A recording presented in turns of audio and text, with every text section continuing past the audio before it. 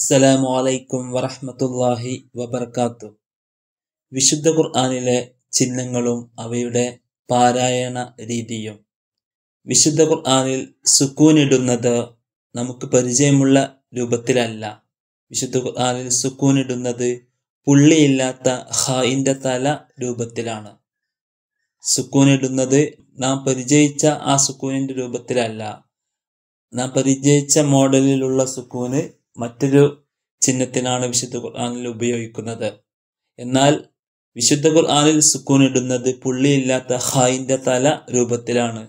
മാറിപ്പോകാതിരിക്കാൻ പ്രത്യേകം ശ്രദ്ധിക്കുക. സുക്കൂൻ പുള്ളിയില്ലാത്ത ഹായിന്റെ തല രൂപത്തിൽ.